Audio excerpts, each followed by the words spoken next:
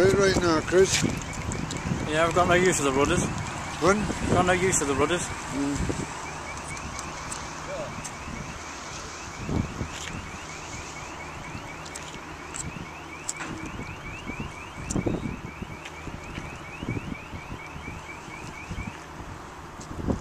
put a motor in this. Anyway, Aton, he bought it off Martin. Yeah, Off uh, John. John.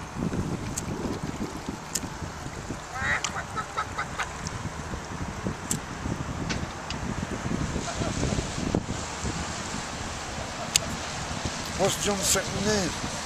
James. James. JJ. No, he told me to go up and have look at his boats there. Have you been to his house? No. So I might nip up Friday.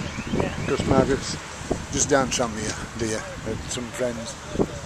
You know where he lives, don't you? Oh, well, I know it's on there. What number is it? Um, it's the second to end house on the right. Right at the other end? Yeah. Yeah. It's got a metal gate.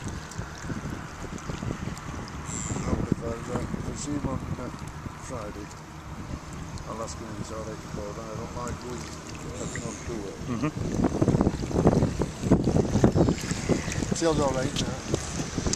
I think this fellow, the, uh, the who's got transmitter, he, he